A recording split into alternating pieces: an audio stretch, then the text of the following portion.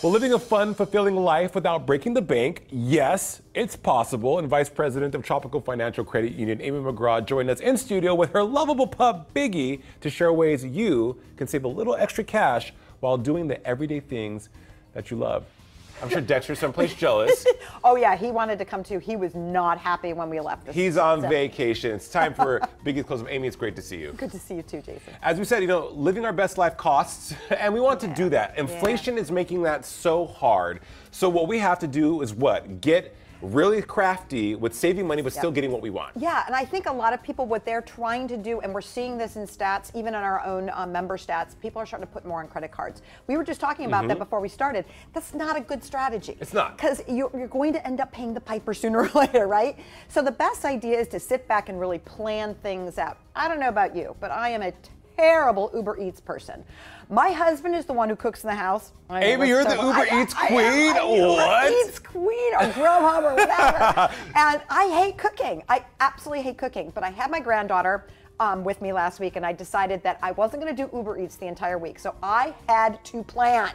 And once you actually sit down and plan it all out for the week, it's not that hard. It's not. But you got to put in the work to plan it out. It's it's the mental of it all. It is. Okay, so cashback apps. There, yes. there are a lot of them. They people can benefit from those too. Oh yeah, and uh, you know, again, a lot of people think about cashback in terms of credit cards and rewards points and things like that. But there are other types of retailers that use cashback um, in their stores. That you buy a certain amount, they give you a coupon for the next time you come in. Use those coupons. Don't shelve them or put them away.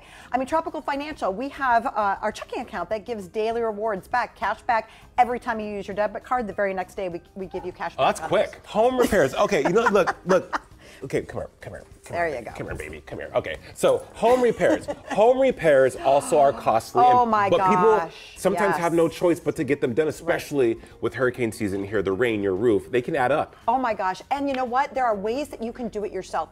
I know sometimes things, even things like retiling or regrouting or things like that, you're like, oh, but if you get some a professional in, it costs you a bloody fortune. But there are YouTube videos on how to do this that won't cost you a dime. They walk you step by. Heck, there was a woman, Cara Brookins, who built an entire house. I know. An entire home using YouTube videos. So before you pick up the phone to call the plumber or call, you know, whoever to do something simple, which might be simple, go ahead and check YouTube to tell what the symptom is and see if there's something that might be as simple. I had a plumber come in, charge me a couple hundred bucks, and you know what it was? He even showed a $10 little ring on the faucet.